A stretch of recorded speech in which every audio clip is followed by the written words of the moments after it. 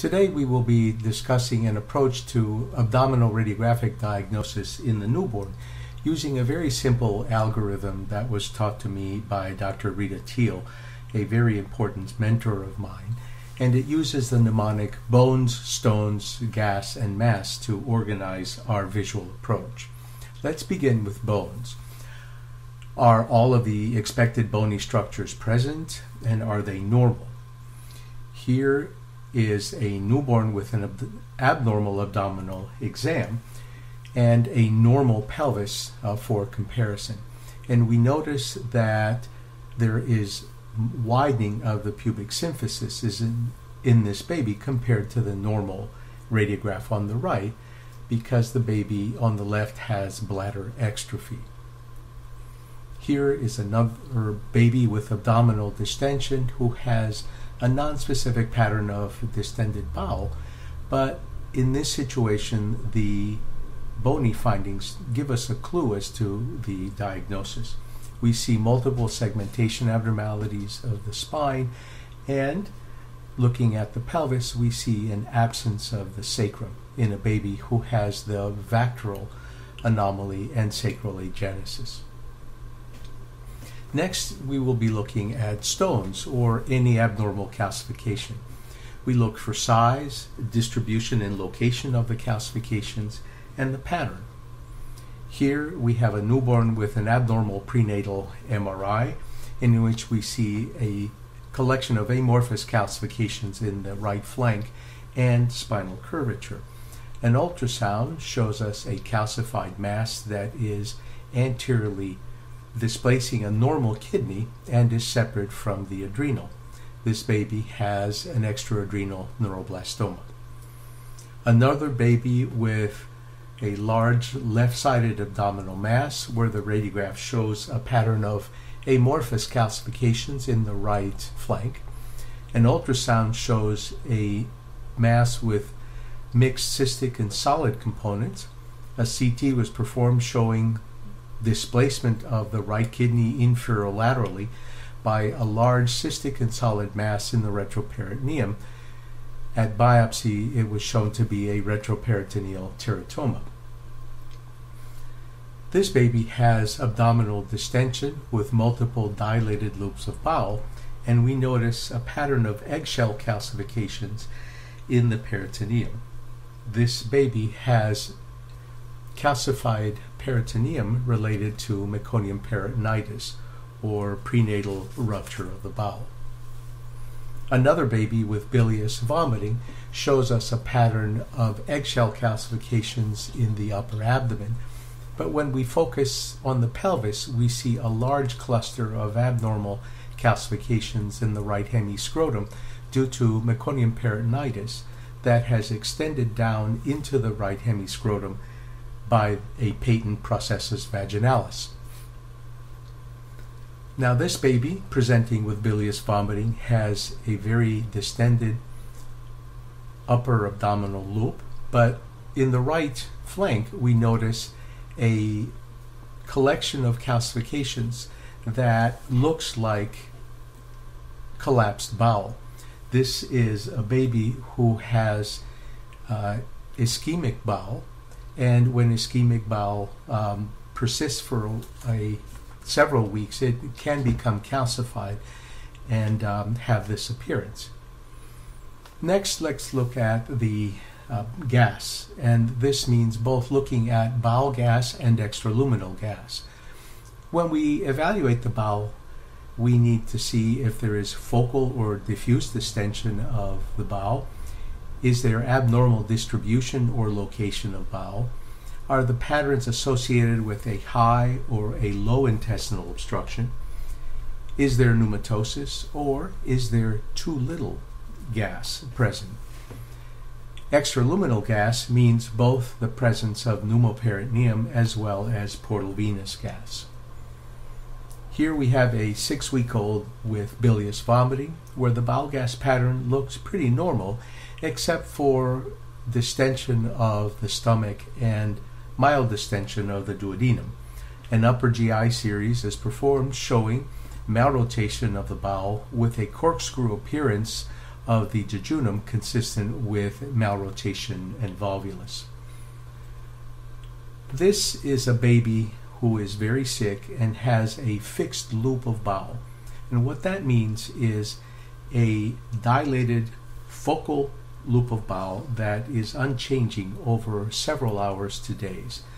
This represents a focal ileus and often seen with ischemic bowel in babies with necrotizing enterocolitis.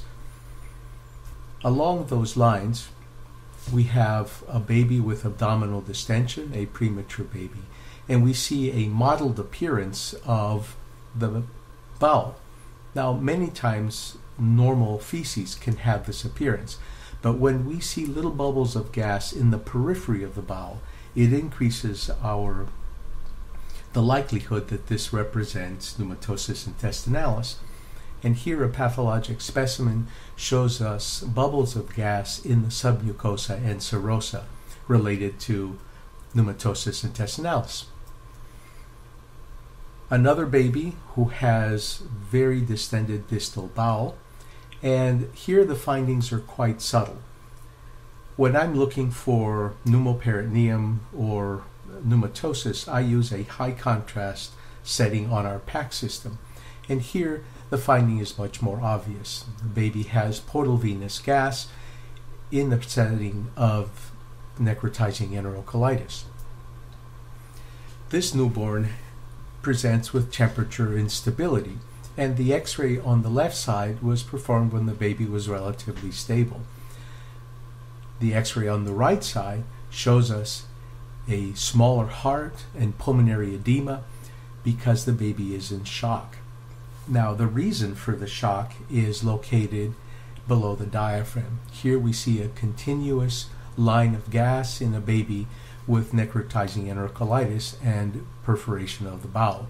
This finding is confirmed by a decubitus view of the abdomen showing the large amount of pneumoperitoneum. This two month old ex preemie with vomiting shows us that we need to evaluate locations of gas that may not be in the abdomen. Here we see a collection of gas that appears to be above the diaphragm. Now, this baby has a hiatal hernia, but the hiatal hernia contains some unusual contents. Not only is there a herniation of the fundus of the stomach, there is also herniation of the transverse colon. We have two infants with bilious vomiting, and now we start looking at the patterns that are associated with high versus low intestinal obstruction. These two babies have a gasless distal abdomen and a markedly distended, irregular contour of the stomach with a dilated duodenal bubble. This is the classic appearance of a duodenal atresia. We've seen this baby before with a loop of calcified bowel in the right flank and a gasless distal abdomen with focal dilatation of one proximal loop of bowel. By giving positive contrast, we see that there is marked dilatation of the jejunum related to a child with jejunal atresia and a focal ischemic loop of bowel in the right flank. Here is a baby that presents with disten- abdominal distension and failure to pass meconium for 36 hours. And we see a very distended loop of bowel that appears to be colon with a mottled appearance of the feces within. And if this is colon, then our differential diagnosis going from the most distal cause of obstruction includes an imperforate anus or Hirschsprung's disease, colonic atresia or stenosis. But if it does not represent the colon, it could represent very dilated distal small bowel as a result of ileal atresia or stenosis, or meconium ileus, or multiple atresias. So in this situation, we did a water-soluble enema showing that, in fact, this very distended loop of bowel was not colon. In fact, it was dilated distal small bowel. we see that the caliber of the colon is very small throughout. Baby has a microcolon. And we have reflux of contrast into the distal ileum that contains multiple filling defects. This is the result of meconium ileus. So the key teaching point here is that it is very difficult in the newborn to tell the difference between a distended colon and a very distended small bowel. Here we have two expremies with abdominal distension that is quite intermittent, and we see a collection of gas in the left in the right hemiscrotum, sorry, left hemiscrotum on this child, and contrast containing cecum and appendix in the right hemiscrotum in a baby with inguinal hernia. These can obstruct uh, and may cause a pattern of distal small bowel obstruction. Here we have a baby with a clinical diagnosis of imperforate anus. We see that there are segmentation abnormalities in the sacrum, and we notice that there is gas in the proximal urethra. A prone cross table lateral view of the abdomen shows a distended rectum and distal colon and gas in the bladder. This confirms a diagnosis of a rectal urethral fistula. Now let's shift our attention to an evaluation of masses. And this to us means both the presence of a mass and or organomegaly. We need to see the location of the mass and it's based on the vector of displacement of other normal structures, the size of the mass and the presence of calcification or fat.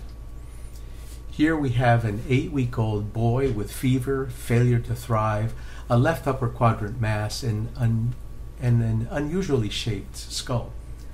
The radiograph shows us a very dilated, very uh, enlarged spleen that is confirmed by an ultrasound, and the plain film radiographs showing a very dense appearing set of bones with abnormal ends to the bones and no distinction between the cortex and the medullary cavity in this baby with osteopetrosis and splenomegaly related to extramedullary hematopoiesis.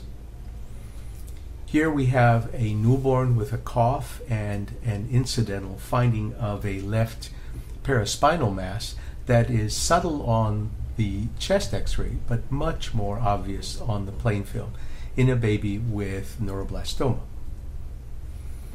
Finally, we have a newborn with marked abdominal distension and respiratory distress, where the abdomen is gasless, except for a small amount of gas in a centrally placed stomach. There is hypoplasia of the lungs with elevation of the hemidiaphragms. An ultrasound shows us marked enlargement of both kidneys with multiple tiny cysts throughout consistent with the diagnosis of an autosomal dominant, autosomal recessive polycystic kidney disease. So, in summary, we have a pattern approach that we can use for the evaluation of the uh, newborn abdomen using the mnemonic bones, stones, gas, mass. Thank you.